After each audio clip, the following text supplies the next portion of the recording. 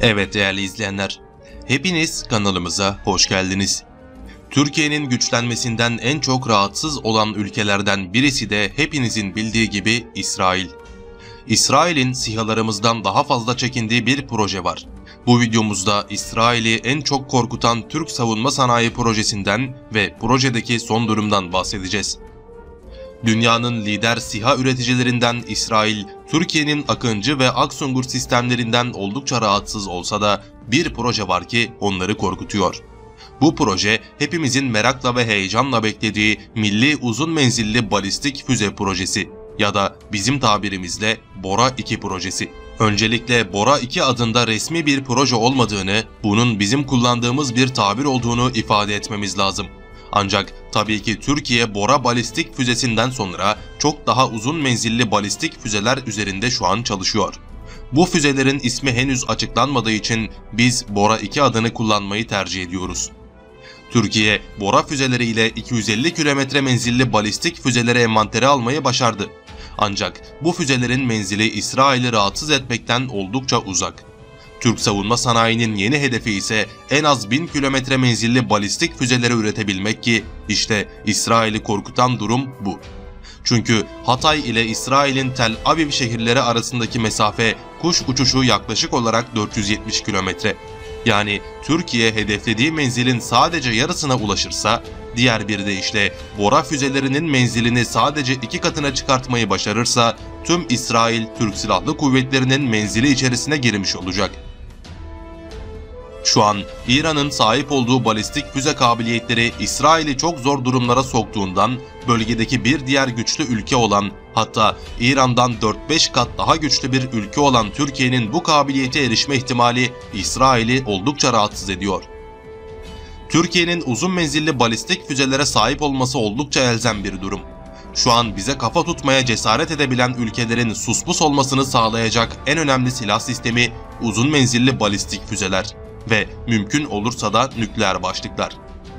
Eğer Türkiye binlerce kilometre öteye ulaşabilen füzeleri üretip bir de üzerine nükleer başlık kondurabilirse hem küresel bir süper güç statüsüne yükselecek hem de hiçbir ülkenin saldırmaya cesaret edemeyeceği bir konuma gelecek.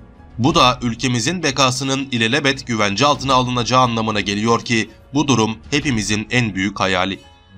Şu an için baktığımızda Türkiye'nin elindeki en uzun menzilli füze 280 kilometre menziliyle Bora füzesi.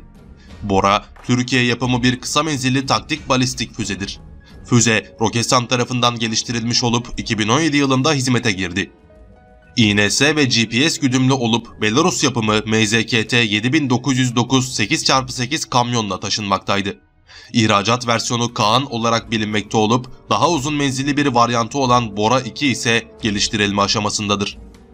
Bora füzesi 28 Mayıs 2019 tarihinde Türk Silahlı Kuvvetleri tarafından Irak'ın kuzeyinde başlatılan Pençe Harekatı kapsamında ilk kez gerçek harekat ortamında kullanılmıştır.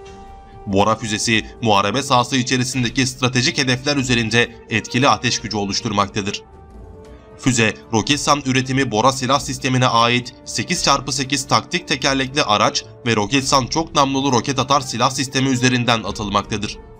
Kullanıcı ihtiyaçları doğrultusunda entegrasyon için uygun arayüze sahip diğer taktik tekerlekli araç platformlarından da fırlatılabilmektedir.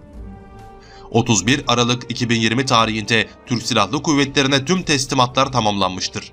Ne kadar teslim edildiği bilinmemekle birlikte 300'den fazla teslim edildiği düşünülüyor. Bildiğiniz gibi dünya çapında geçerliliğini koruyan bir anlaşma var ve bu anlaşmaya biz de üyeyiz. Bu anlaşma füze teknolojisi kontrol rejimi olarak geçiyor. 300 kilometre ve üzeri menzilde füzeleri dışarıdan en ufak bir parça ithal ederek üretemiyorsunuz. Burada yine yerli ve milli üretimin önemi karşımıza çıkıyor. Eğer tamamıyla motorundan en küçük vidasına kadar yerli bir sistem geliştirebilirsek bu anlaşmanın kurallarını ihlal etmeden istediğimiz menzilde ve ağırlıkta füze üretebiliriz. Füze Teknolojisi Kontrol Rejimi yani kısaca MTCR Nisan 1987'de G7 ülkeleri tarafından kurulmuştur. Bu ülkeler Kanada, Fransa, Almanya, İtalya, Japonya, Birleşik Krallık ve Amerika Birleşik Devletleri. MTCR, nükleer silahlar için özellikle de 300 kilometrelik bir mesafe için 500 kilogramlık bir yük taşıyabilen füze sistemlerinin yayılmasını engellemek için oluşturuldu. MTCR, diğer üyelere yapılan ihracatların yanı sıra üye olmayanlara yapılan ihracatlar için de geçerlidir. Yerli savunma sanayi firmalarımız da bu durumun farkında ve son zamanlarda bu anlaşmanın bize koyduğu engelleri ortadan kaldırmak için çeşitli girişimlerde bulunuyorlar. Bunlardan en etkilisi tabii ki yerli ve milli füze motorumuz.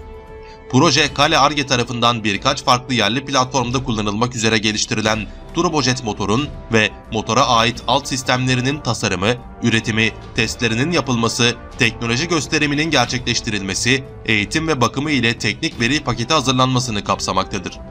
Bu kapsamda tamamen yerli imkanlarla özgün olarak geliştirilen KTC 3200 özellikle seyir füzeleri ve hedef uçak gibi insansız platformlara yönelik kullanım için optimize edilmiş bir turbojet motordur. Kompakt tasarımı ile yüksek itki, düşük yakıt tüketimi ve farklı irtifa hız şartlarında başlatılabilme özelliklerine sahiptir. KTC 3200 kontrol ve aksesuarlarının tamamı Kale Arge tarafından özgün olarak geliştirilmiştir. KTC 3200 üstün özellikleri sayesinde yapılacak bazı modifikasyonlarla farklı hava platformlarına adapte edilebilir. Kale Arge üretimi KTC 3200 turbojet motorunun Roketsan tarafından geliştirilen atmaca gemi savar füzesine ve TÜBİTAK SAGE tarafından geliştirilen SOM seyir füzesine entegre edilmesi ve bu füzeler için KTC 3200 motorlarının tedarik edilmesi amacıyla İDEF 2021'de Milli Turbojet Motor Tedariği ve Entegrasyonu Protokolü imzalandı. Son füzesinde başarılı bir şekilde kullanıldıktan sonra bu motorun daha da geliştirilmesi an meselesi. Böylelikle artık karadan karaya uzun menzilli taktik balistik füzeler için kullanılabilir hale gelecektir diye tahmin ediyoruz. Sonuçta şu an için bu motoru herhangi bir balistik füzeye entegre etmeniz imkansız gibi duruyor. Son füzesinin ağırlığıyla karadan karaya bir balistik füzenin ağırlığı arasında katlarca fark vardır. Ama bildiğiniz gibi Türkiye her zaman ilk defa ürettiği bir sistemi kademeli bir şekilde geliştirmeye devam etmiştir. Bunun örneklerini birçok kez gördük ve en basit örnekleri de tabii ki silahlı ve silahsız insansız hava araçlarımız. Artık her alanda dünyada en iyiler arasına girmeye başlamışken motor konusunda geri kalacağımızı hiç sanmıyoruz diyelim ve videomuzu sonlandıralım.